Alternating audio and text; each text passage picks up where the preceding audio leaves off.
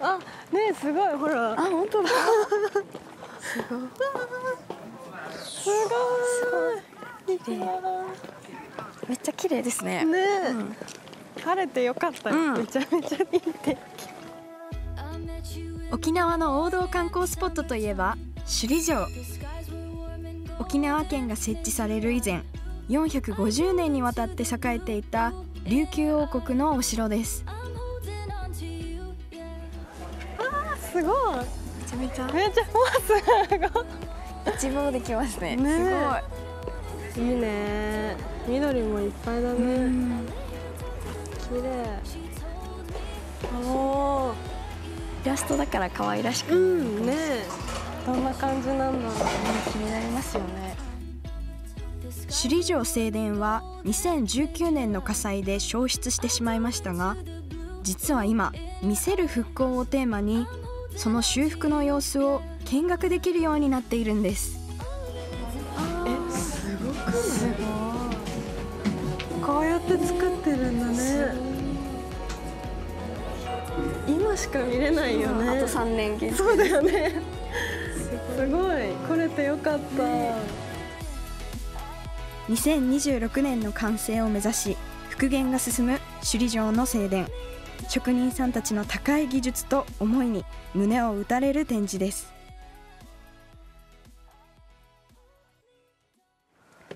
あーすごい。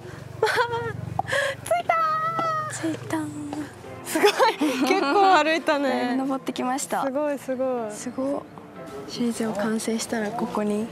そう、うん。ね。来るしかないね。来るしかありません。また来ましょう一番奥にあるあがりのあざなは標高140メートルから那覇の街並みを一望できる絶景スポット。これから始まる旅への期待も膨らみます。ドキドキワクワクしてわかる、うんドキドキワク緊張しますけどでも楽しみですね。同じくらい、うん確かにあとやっぱり二人の写真を一緒にたくさん撮りたいなと思います。沖縄らしいね、ですね。南国感ある写真を たくさん撮れたらなと。沖縄には本物優れたものという意味の総雲という言葉があります。今回私たちが訪ねるのはそんな沖縄の総雲を感じ体験できる場所青と青となので暗くなっちゃうんですよ。葉っぱの先だけでも可愛いと思う、これ時間かかりますね普通にして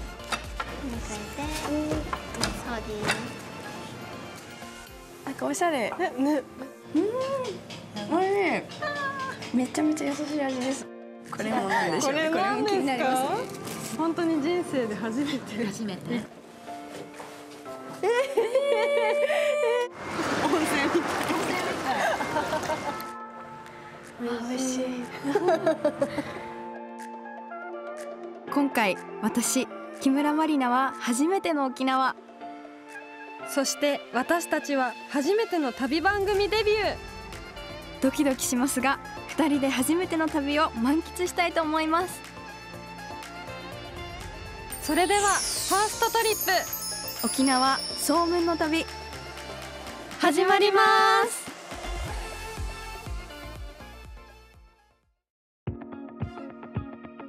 今回は成田空港からジェットスターを利用しおよそ3時間半で沖縄那覇空港へ。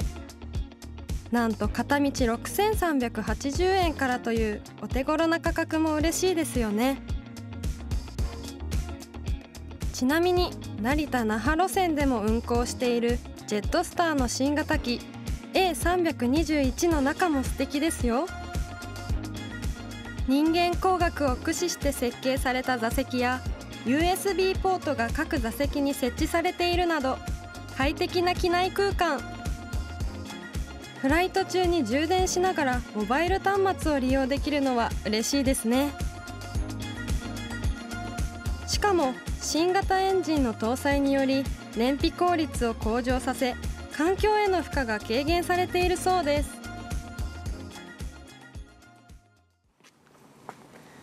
楽しみ。楽しみ。結構奥まったところにね。あります。首里城公園を歩いてちょっとお腹が空いてきたので首里で美味しいランチを探すことに。えあえマリカって書いてあるじゃん。あ本当だ。これこれじゃない？あここだ。あここですね。ここ行きましょう。めっちゃ細い。えすごい。こんなところにあるんですね。ね見逃すとこだった。危ない危ない。歩きだから来れるスマホのナビ通り狭い路地裏を恐る恐る入っていきます。あったすごいこんなところになんかおしゃれえねえー、そうお腹減ってきました。えねめっちゃペコペコ。入っちゃいますか。はい。訪ねたのは首里城公園から歩いて5分ほどの場所にある首里堀川さん。おしゃれな器や家具が並ぶ素敵な店内で早速こだわりのランチをいただきます。まずスープに関してなんですが、えっと、化学調味料を使ってなくって、かつお昆布、煮干し、いった感じの和だしをベースに、えっと、仕上げに豚だしを入れてます。麺に関しては、えっと、自家製麺でして、少しあのしっかりめの麺です。あそうなんです。はい。こちらで作ってるはい、自家製麺しております。豆腐もはい、こちらで？はい、自家製です。はい、朝ちょっと作って、で、お出しする前にもう一度蒸し直してっていう感じで、はい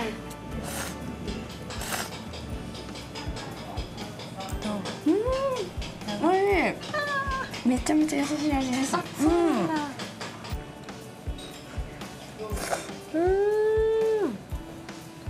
すごいちゃんと歯ごたえがあって、うん。つるつるやっぱ自家製麺だと。うん。つるつる滑ってっちゃうね。おほろほろほろほろです。これも結構優しいかもしれないですあそうなんだ。味は。でもしっかり塩気もあって。うん。いただきます。うん。うん。うん。うん。プルプルめっちゃ香りする大豆の香りめっちゃするフレッシュですよフレッシュフレッシュつるつるとコシがある自家製麺にあっさりとした上品なスープもうお箸が止まりません。味にこだわる堀川さんの沖縄そば。路地裏にこんな素敵なお店があるなんて訪ねてよかった。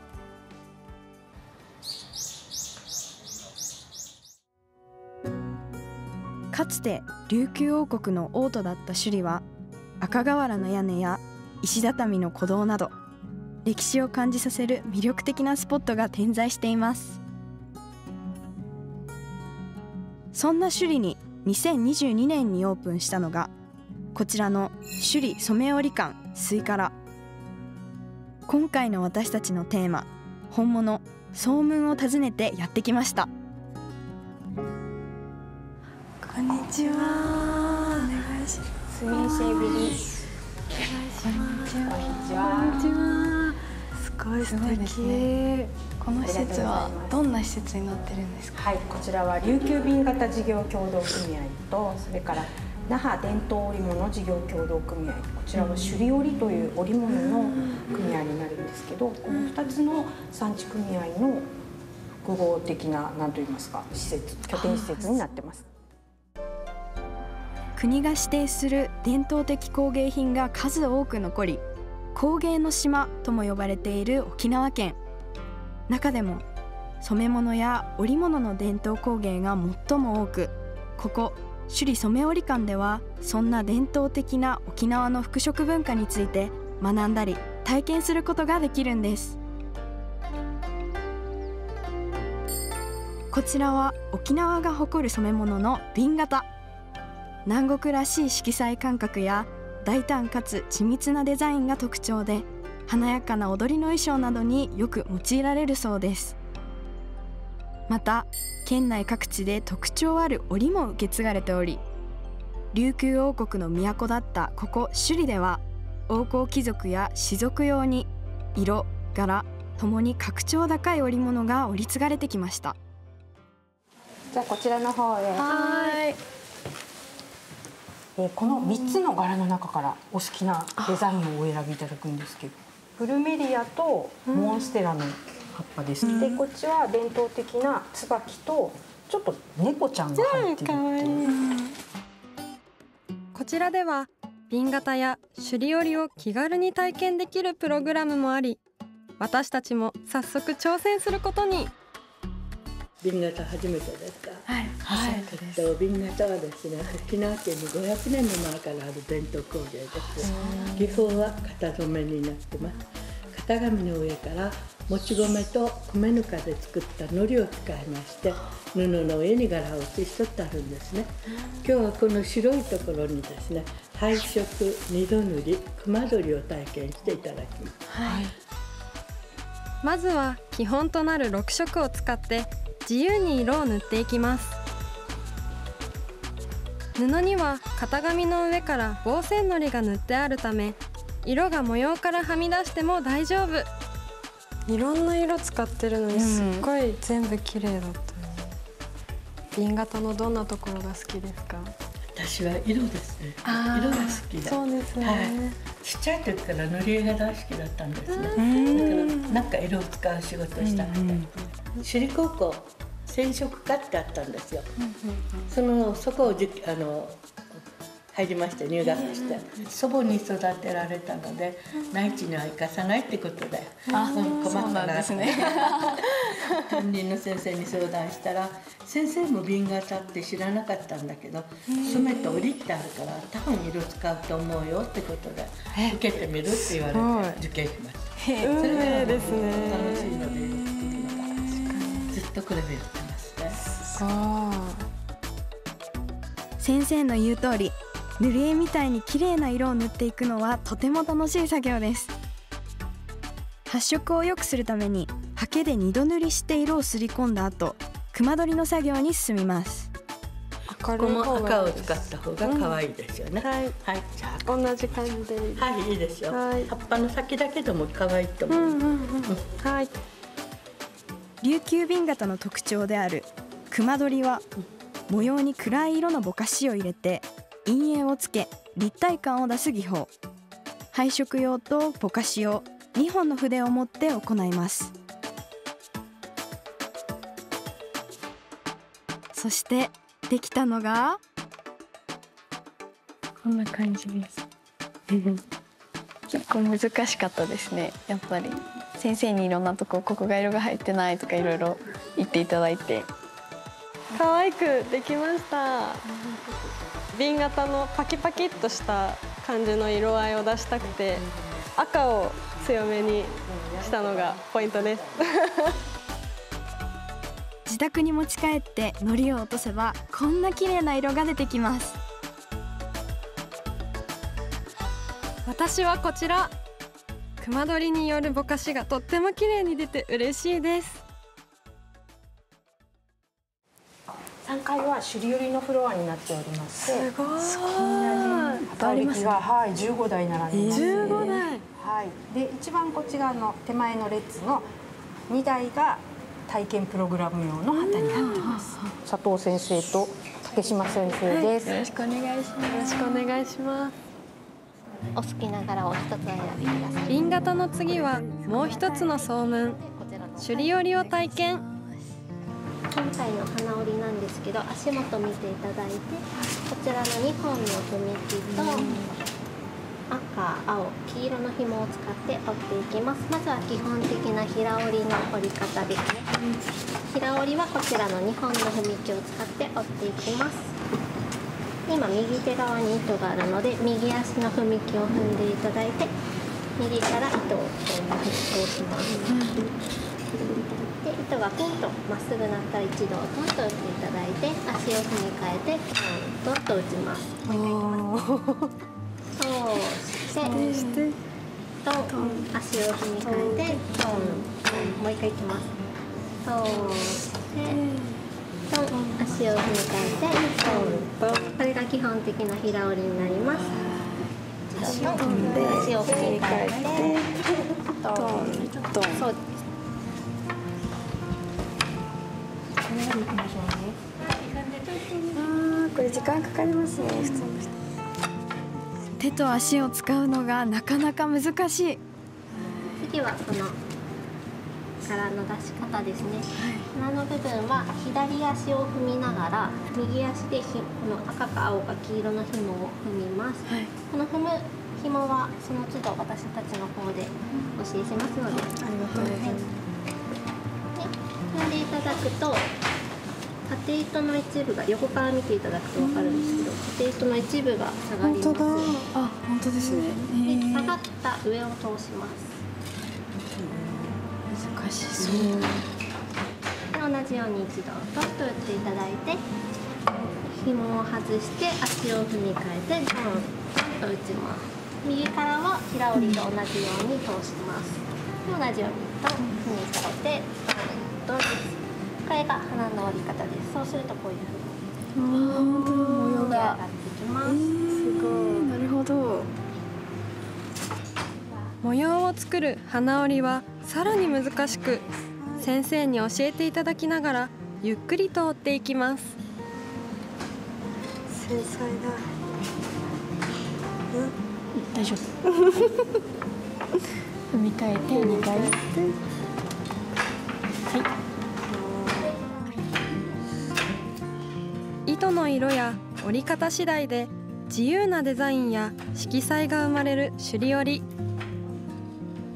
琉球王国で交易によって伝わった織の技術が沖縄の風土や気候に沿ってさまざまな形へと育まれていったんですね。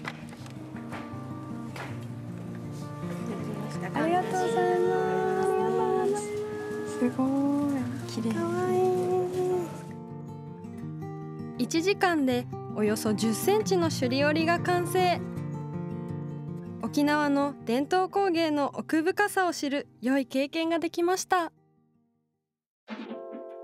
体験の後は最新の瓶型や首里織が並ぶ展示ギャラリーへ戻ってきました。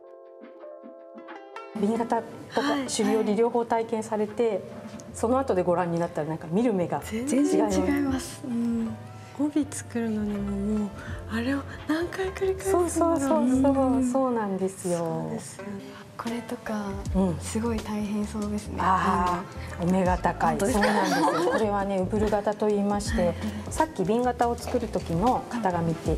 一枚の型紙で色を手でつけていくっていうお話ありましたけど、これはそうやって一回染めたものの上からまた別の型紙を置いて、なんというか二重に柄を入れてるんですよ。すごい手間だから職人技ですねそうなんです。はい。帯ですか？帯なんですけどね、これゴーヤーの柄なんですよね。かわいい確かに。ゴーヤーを縦に切ったり横に切ったり、こんな感じであの自由な発想でですね作られているものもあります。で一方でこのような伝統的な柄古典柄っていうのもありますし、その今の職人さんが創意工夫を凝らしてモダンな感覚で作る瓶型と、それから伝統を本当に重んじたデザインのものと両方あるんですよね。技術のその核の部分コアの部分は受け継いでいて、表層のデザインの部分っていうのはやっぱり現代の感覚にも合ったようなものでないと商品としてはね成り立たないので。これはやっぱり現代感覚を取り入れながら皆さん制作はされてますね。沖縄で磨かれ受け継がれてきた瓶型や首里織。その伝統を学び次の世代につなぐ場として建てられた首里染織館スイカラまさに総務本物に出会うことのできる素敵な場所でした。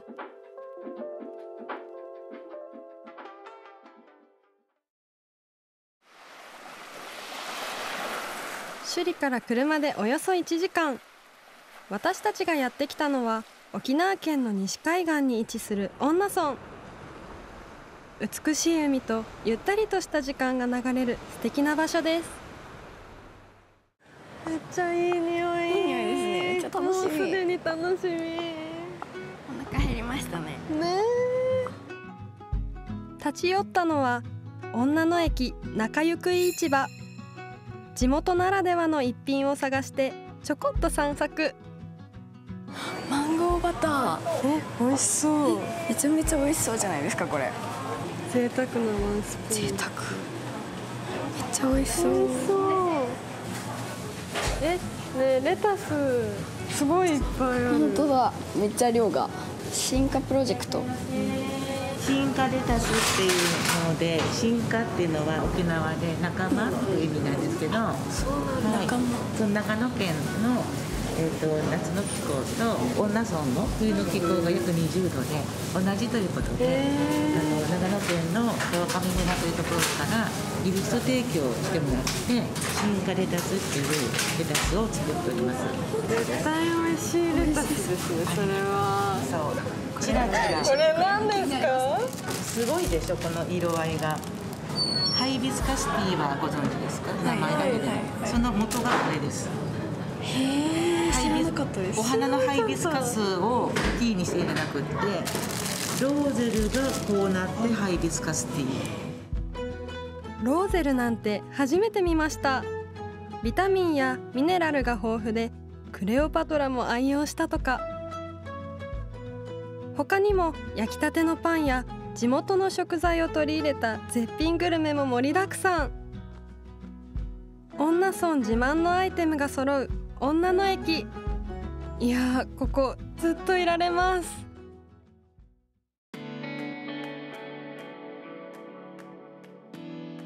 楽しみですね。ねそして今夜の宿に到着。今回ご宿泊いただくプランがハプニングステイというものでいろんなハプニングが当館で行われます。最初にですねこちらをお読みいただいて。はい 署名をはいハプニングを乗り越えて来た時よりも仲良く帰ります。素敵ですね。同意しましょう。同意しましょう。もうすでにお連れ様がいらっしゃっていてそちらの方にカードキーをお渡ししているのでちょっとお連れ様をたまりまで探していただいてもよろしいですか？はいわかりました。はい。星野リゾートベブ5沖縄世良垣さんで待っていたのはハプニングステイ仲間とハプニングを乗り越えることでいつもと一味違う旅を楽しんでほしいとスタッフさんたちが考えたそうです。先にチェックインしていたマネキンのベブくんからカードキーを受け取って一緒にお部屋に向かってみると。ええ何これすごいすごい入りますかうんじゃあ入ります。よいしょ。これくぐっていけばいいんですかね、うん。くぐっていこう。入り口にはハイビスカスのカーテン。これもハプニングですね。あーすごい、広い。あ奥めっちゃ広いですよ。すごい。い。綺麗。広い。すご私たちが泊まるのはユンタクスイートというリビングとベッドルームが別々のとっても広いお部屋。キッチン大型冷蔵庫洗濯乾燥機付きでグループ旅行や長期滞在にもぴったり。そしてお部屋の中にも何やら怪しい箱が。オープン。あ まだまだ中にもいっぱいある。あこういうことですね荒野だお部屋の中には他にもお題に沿って写真を撮るミッションや洗面台にジンベエザメが泳いでたりと楽しいハプニングが続々。三二一出てこない出てこない出てこないビッグスマイルだった。友人や家族と盛り上がること間違いなしですまた1階のパブリックスペースたまり場は24時間利用ができるスペースで飲食物の持ち込みも OK なんですって。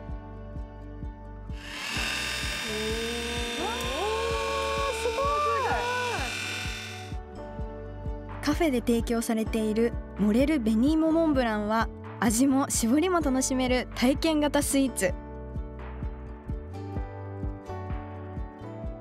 さらに屋外には開放的なプールもあってこちらなんと冬は温水プールに。せっかくの沖縄だから冬も屋外プールで遊びたい。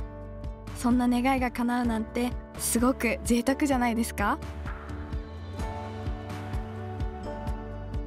プールサイドにはテントサウナも設置されていてホテル内だけで十分に楽しめちゃいます。いっぱい体を動かした後はお楽しみのディナー。せっかくなので外にも広がるパブリックスペースたまり場でいただきます。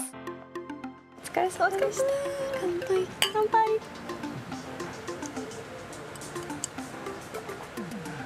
うん。うん。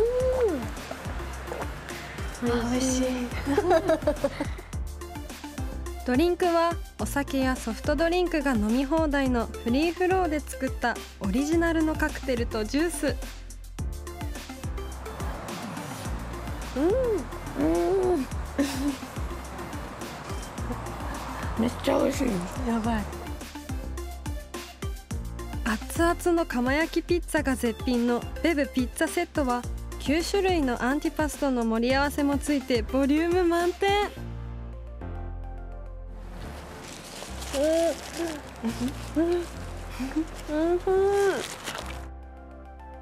ゆっくりのんびりとヨンナーチュライフを満喫。これぞ沖縄時間。最高です。最高です。最高です。やっぱり今回はたくさん歩いてたくさん体を動かしてたくさん美味しいもの食べて もう五感で旅を楽しめたのでこれまで以上に沖縄のことを好きになりましたし自分自身の新しい発見もあってすごく最高の旅でした。私は初めてのロケだったんですけど初めての沖縄でもあったので首里城でしたりとかあとは伝統工芸でしたりとか沖縄の全く知らなかったこう新しい知識を得られたというかやっぱこういろんな旅先に行って、まあ、それこそいろんな人に会ったり、うん、いろんな美味しいものを食べたりして自分の日常生活に毎回戻るわけですけどそうするとやっぱりその旅先での思い出というかそういうのも一緒に持って帰れるわけで、うん、そうすると普段の生活がこうより豊かになるというか楽しくなるというか、うん、あと新しい友情も。レノさんと知り合えて、はい、楽しい旅でした、うんはい、たくさんの本物総文が点在する沖縄県。旅を通してその奥深い歴史と文化に触れることができました。私たちのファーストトリップはここまで。また2人で沖縄に旅に行きたいと思います